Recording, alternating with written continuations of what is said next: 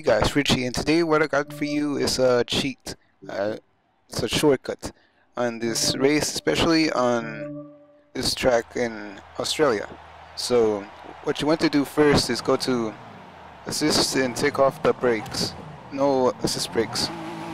And then and make sure you have a decently fast car and then I'll just speed forward and then show you where the shortcut is.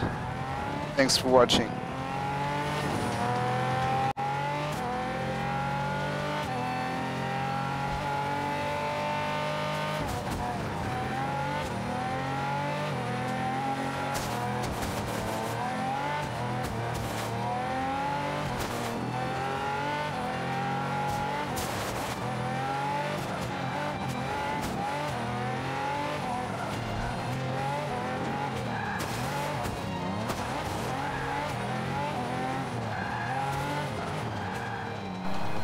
Alright guys, so take notes on this one.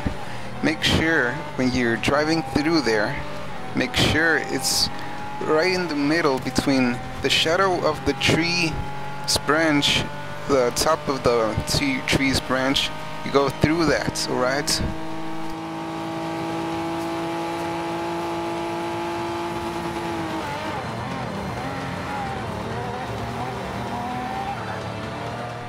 And there you have it. See you later.